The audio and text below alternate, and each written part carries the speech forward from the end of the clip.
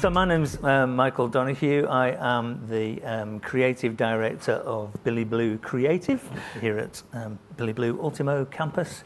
And I'm here to talk to Imogen and to talk to Taylor.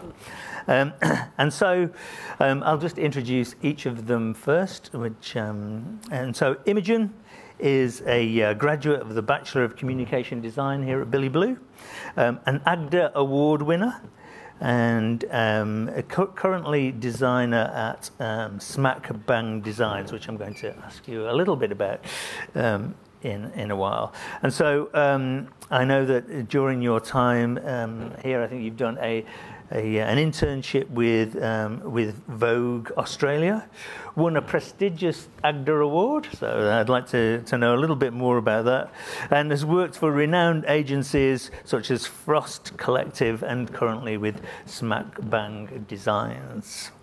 Um, and Taylor Cope Wallace, also a graduate of the, um, the Bachelor of Communication Design from here at Billy Blue, um, is the Product and Projects Director at Lad Bible, uh, the Lad Bible Group. And Taylor was a, a, scholarship winner at Billy Blue, who worked on the uh, world class uh, uh world class lineup of clients, including wait for this, Justin Bieber, Vivid Sydney, ANZ, Hyundai, and many more, apparently tell us all about the Justin Bieber experience um, in a minute. So I'd just like to um, welcome both of you here and um, thank you for coming, your, coming here today, sharing your time, and more importantly, sharing your experiences with, um, with the Billy Blue crowd. So I'm going to start off um, by saying that we're all driven by very different um, passions and a diverse range of influences in our creative pursuits. So I want to take you back a little bit and um, ask you what inspired you to become a designer? So I'll start with Imogen. What inspired you to become a designer? Definitely not the typical way to become a designer, but actually started, you know, getting interested in design by doing what I didn't want to do, which was studying law. Um, that was the first thing I jumped into after high school. I, you know, loved research. I loved learning. And it just kind of made sense to me, oh, I'll just do something in law. And after a couple of years, I was like, I definitely could not be wearing a suit for the rest of my life. Um, and I always, you know, since I was um, little, I was always looking at like logos and other designs. And, you know, I often quite, still to this day, will choose a wine bottle based off the label rather than anything else. Um, and I think from that point, it was kind of like, yeah, I need to do something in design. So it was kind of a nice exploration, though, to kind of see what I didn't want to do to realize what I did want to do. And once I fell into design, it was just like, you know, match made in heaven. It just, everything sort of seemed to flow. And, um, you know, coming to Billy Blue really sort of helped me enhance that love and go straight into the industry and tackle it. It was been great. So is it a general awareness of design that you always felt you had? You were, yeah, definitely. Yeah. interesting you should say that. First thing is that um, the do, do you see parallels between the way you thought as a lawyer and the way you think as a designer? Absolutely. Like it, you don't think that two two those sort of subjects would ever sort of collide, but I actually really found the research aspect of that I did a lot when I was studying law was so correlated in terms of design. I think there's so important now to be re-engaged with you know what's what's the latest trends and what's the innovation and what, what are people doing outside of your industry? Because that's the stuff that really informs your design decisions and what's going to make an amazing brand down the track. And often I find if I about to start a new project instead of just jumping straight into drawings which you know we all want to do we always want to design something that's really beautiful. But we need to step back and do some research do some critical thinking about you know what does this brand look like in five years ten years? What are the competitors? What are they you know what are they looking to do for the future? And i think having that backing of you know stepping taking a step back think about the you know the research behind it um, has been key. Mm, no, I, I, think that's a really good point, and sometimes I talk to my students about, you know, think like a lawyer, yeah. because because in actual fact, the um, you know, I think the presentations before, the, the discussions before, brought up this idea of aesthetics, and aesthetics are, you know, it's, it's, a, it's a styling process, but in actual fact, you have to be very analytical mm. about design before you even get to to that level of a veneer. If I say veneer, that's, that sounds derogatory.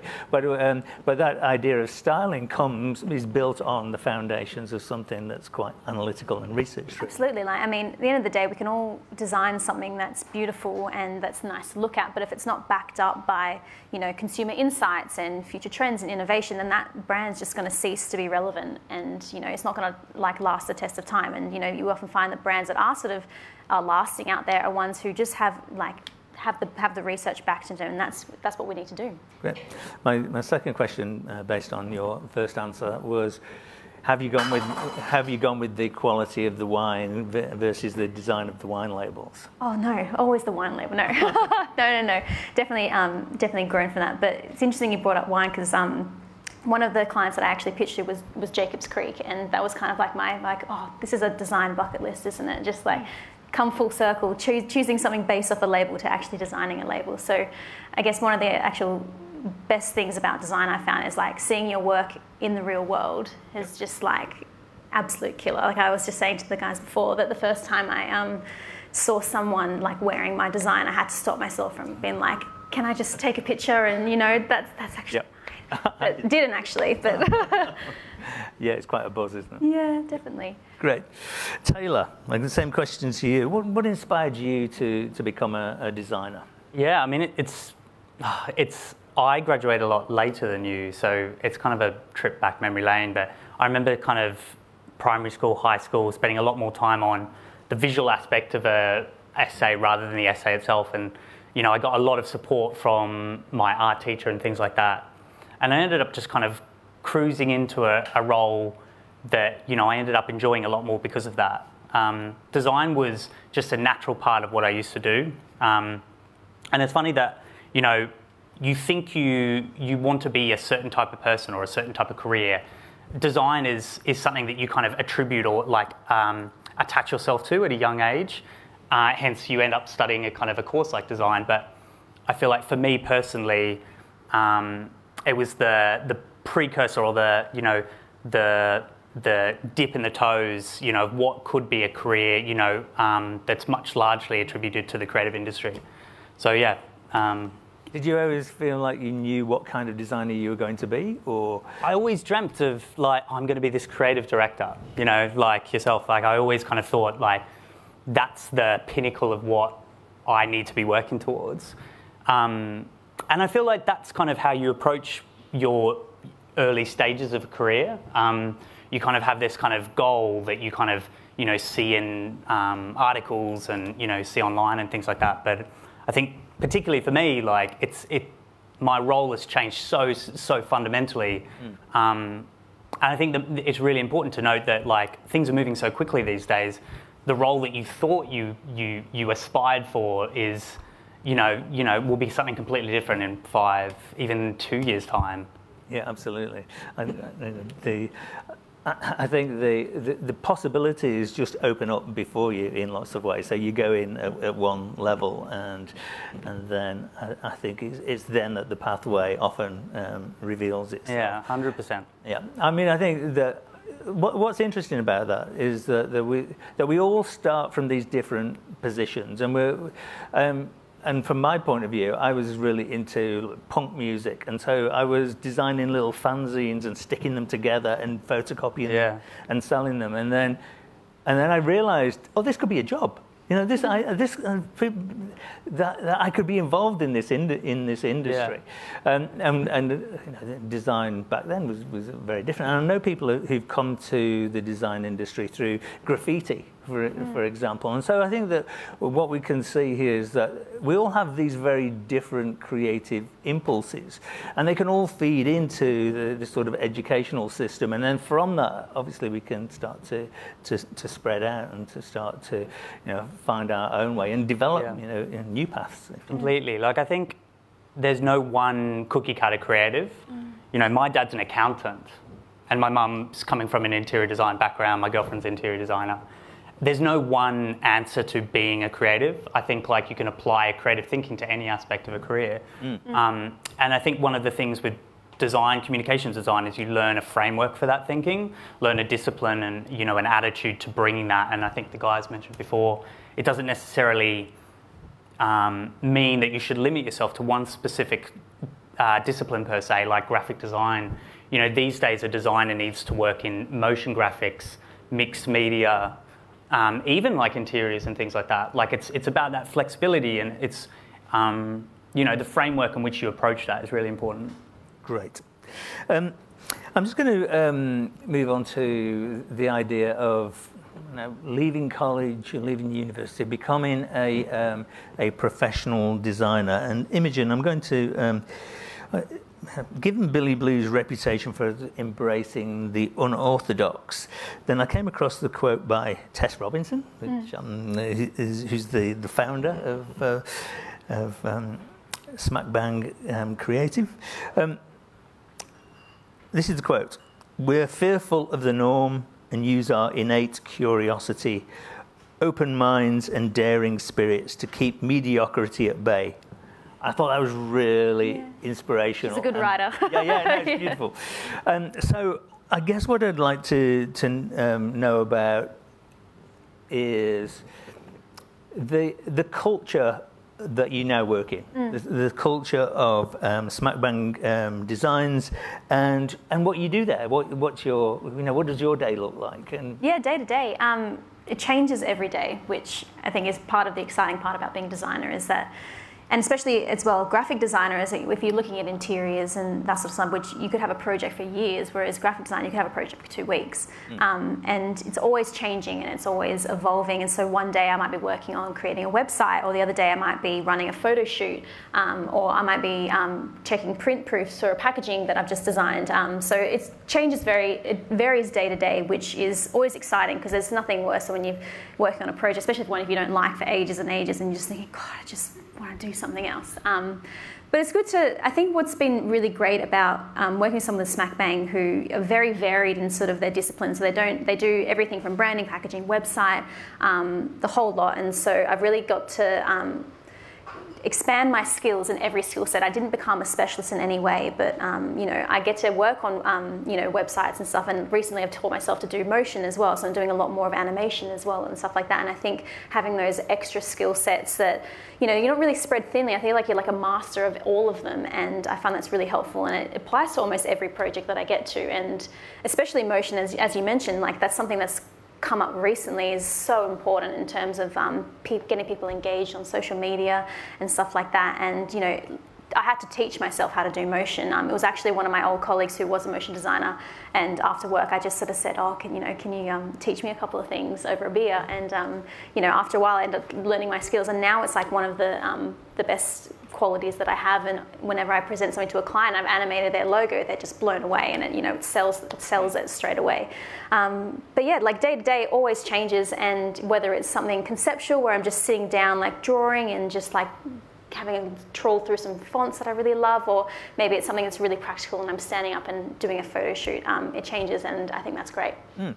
I think you, you, mentioned the, the idea of curiosity there, which I think is the the one um, the one character that I always look for in a designer. You, you know, we, we can teach skills, mm. but actually, this idea of curiosity, always seeking something new, I think, is intrinsic to all um, great designers. Mm. So, um, just a little bit more then about the um, about the culture, because I, I, think one of the things that that's interesting is that you, you, you move from design studio to design studio, and each place has mm. its own individual culture. And I and I, I looked at um, Smack Bang, and, and it did seem to have a, a an identifiable um, creative culture. Could mm. you could you explain? Could you yeah like expand on that a little bit? Yeah, um, I think what I've sort of learned being in a couple of different agencies and stuff is that it's so important to find a culture that you resonate with and that you, um, you know, you're with people that you admire and you're passionate um, to work with and you're going for a common goal. I think um, it's been a really great aspect. And so the, the, sort of culture that I have there is is awesome. Everyone is very collaborative, very open, and you know I've worked in agencies and with designers before who are very you know secretive and working their silos. And what I found with these guys is that we're very much like, let's just throw it out there. What do we think of this? Let's get some ideas. Let's get some feedback. And it's all about that collaboration, um, which I found really inspiring and really helped to elevate all of our work together. Um, so that's been an awesome aspect of mm. working in the team. Absolutely, that's that's a really good insight into. I think that um, you do have to, you know, as a as a young designer entering the industry, it is about finding where you fit in, and mm. and that's not not only about the work that you do, but it is definitely about the, the people that you work with, the, this idea, the idea of a collaboration, you know, and and the idea of, uh, of having a good cultural fit for uh, for yourself. So I'm glad you found that. um, okay, and Taylor, again, you know, a, a similar question. For I'm just going to uh, again just read a little um, quote here. Um, I'm just going to frame actually for those of you who are not um, familiar so familiar with Lad Bible. I'm just going to um, frame it with uh, just quite how influential um, Lad Bible is. Lad Bible were winners of the Cannes Lion Festival for Creativity, taking home eight awards, including two Grand Prix accolades for their Trash Isles environmental campaign. Since its launch in 2012, Lad Bible has posted um, nearly 7,000 um, 7, videos, which have um, attracted over 5 billion, 5 billion views on Facebook. Yeah. Yep. Yeah. Yep. Surprises me, I guess. Yeah. So, um, so my, my question to us, can you um, tell us a little bit about what life's like at Lad Bible? I'm particularly interested in its philosophy and your role as the product and projects director. Yeah. Which is, something, which is a mouthful of a title. Yeah, no, it's like, to be honest, it's a mouthful for me. We call it P and P, and nobody knows what that means. So probably you've nailed it. Um, I've been there um, since, since its inception in Australia. Right. So they launched commercial operations in Australia in 2019. There were three of us that started, and now we're uh, 30 people, and that's what two years of massive growth, um, millions and millions of dollars of revenue generated. We're launching an office in uh, Auckland, in Melbourne, and soon to be Singapore. So huge growth, really exciting times. Um, and I think like that's um, part of a driver for me. You know, you're working. I mean, I think you mentioned before, like working in a smaller team. You're you're not just about a designer in front of a Mac. You know, you're solving problems with a, a finance person, or you're kind of uh, you know approaching a marketing PR release or something like that. I think there's much more to being creative um, than just um, you know the tools that you get taught in in university. So in terms of the culture, you know, what Lad Bible's like, I think the founder, Solly and Arian, founders, um, you know, just had a kid. He's, he's not even 30 yet. And these, these guys have come out of university and created a, um, what is nearly one of the biggest social media brands in the world. Um, and I think it's really, really inspirational to see how they've taken a company as small as, you know, five people in, in Manchester and grown it to be you know, nearly 500 people in Manchester, London, Ireland, Sydney, and now a couple of different APAC regions. So there's this huge sense of kind of growth and excitement and mutual kind of advancement. Mm. Um, and that's really exciting for me. You know, I think the, the ability to be involved, the, you know, the, um, the, you know, the, um, the experience, it's been something that I've kind of treasured as one of my, you know, most, you know, highlighted experiences of my career and I think I'm, you and I are relatively new into it. So mm, definitely. Yeah, no, loving it. Right. You know, all the best things start in Manchester. Yeah, yeah, yeah. I said that from I'm from Manchester. Yeah, yeah. Um, um, great. So. I, I, I think that, that that idea of the a small team being able to achieve so much, you know, um, yeah. global dominance in, in, some ways is really interesting because, yeah. and, and I think that's that's about it's about that youthful approach, I mm. think, in lots of ways. That that sort of freshness and and being able to see new opportunities. So I think that's that's awesome. Yeah, um, completely. Great. And you know, is there a philosophy that that drives Lad Bible? Do you think? Yeah, I think so. We've started to spend a lot more time on that because I think it's really important. Previously, we've been kind of like reactively growing with this kind of volatile, you know, social space, which you know, in a lot of times we don't really have a lot of control over.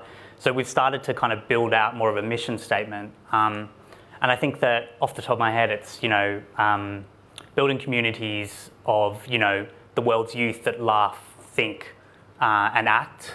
And I think like that's really true to what we try to do. You know, there's not only the viral nature of the videos that we push out, but there's also campaigns like you mentioned, Trash Isles. We're about to launch one on Amazon Prime Video called Unheard, um, which is a big streaming on demand um, provider that will be running a six part series about racial min- minorities in Australia. There's uh, an audience that we have at scale that um, you know a lot of other traditional publishers don't have. I think there's a there's a responsibility there to kind of move away from what is traditionally known as lad or lad culture. Mm. Um, and the, the UK counterparts, my colleagues over there, have been kind of moving through that process. And, you know, it's an interesting experience here in Australia as well to kind of tackle that branding.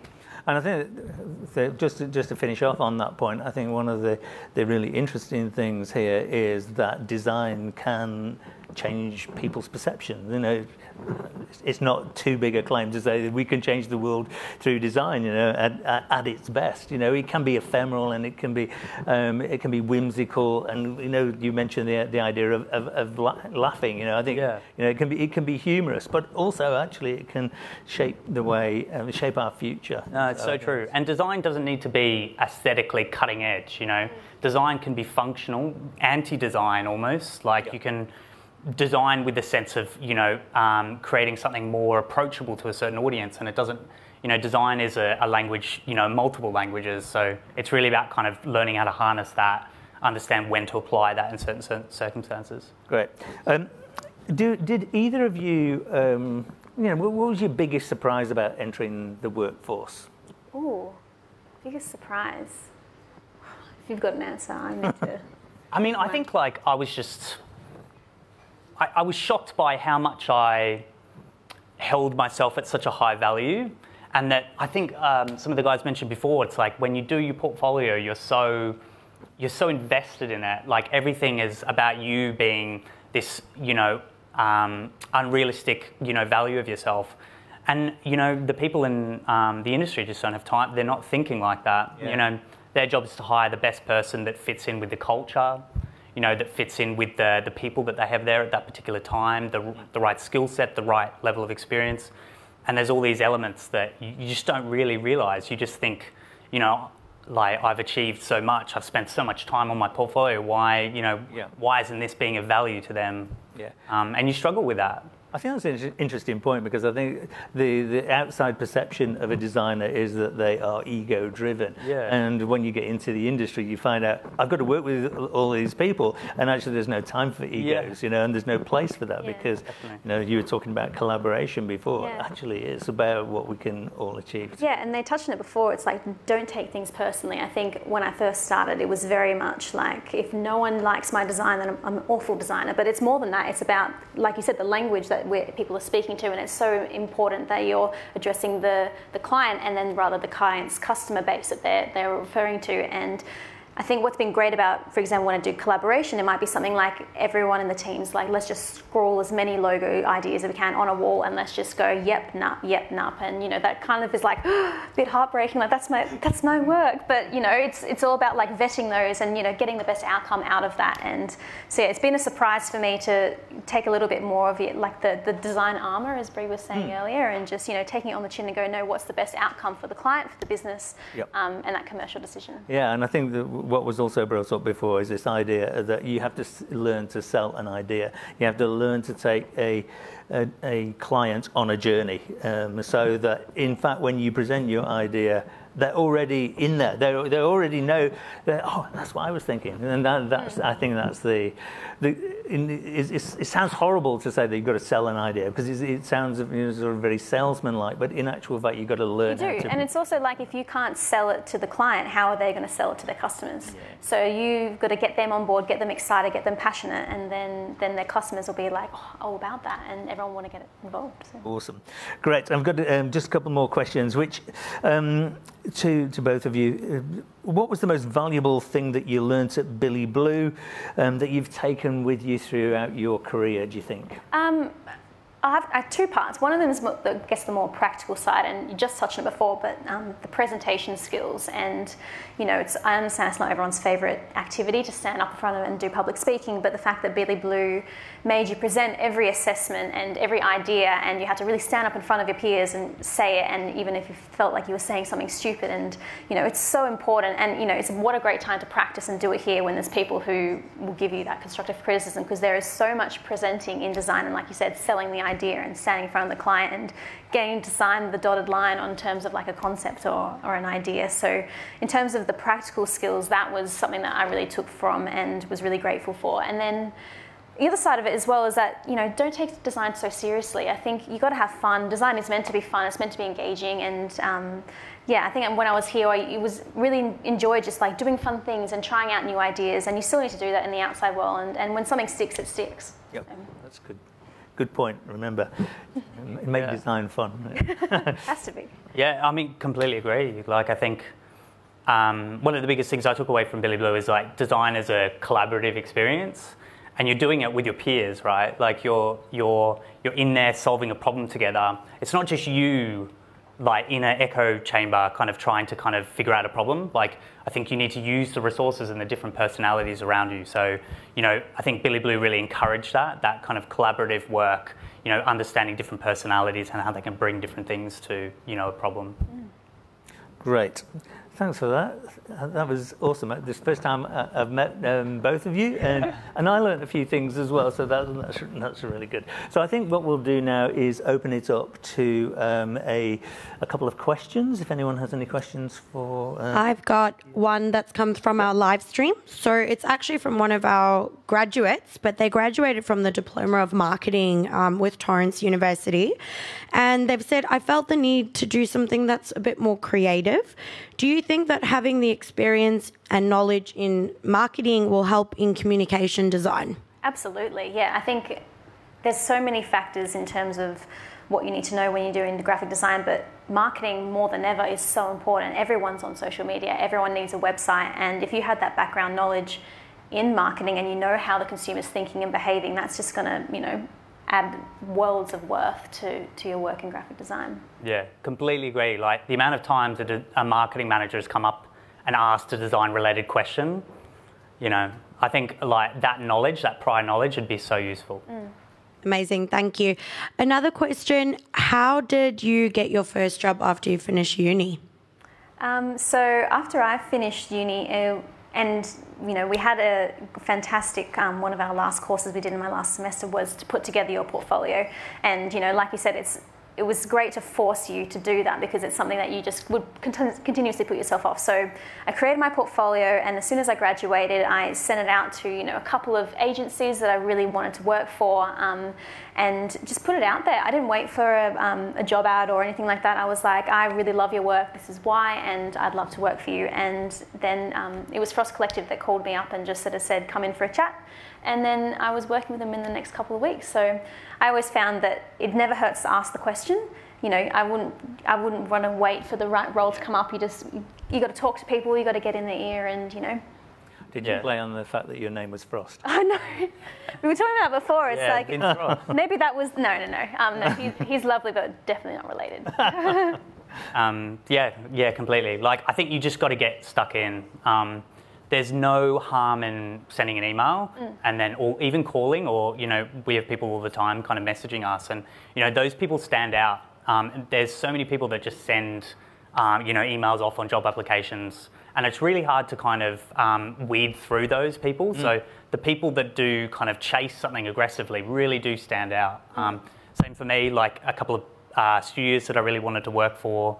Um, and yeah, I was lucky enough to get an internship um, at a Sydney studio, so uh, Eskimo Design. So I think like um, it's, all, it's, it's all about just being aggressive on it, um, doing what you can to um, take up the opportunities that you're given.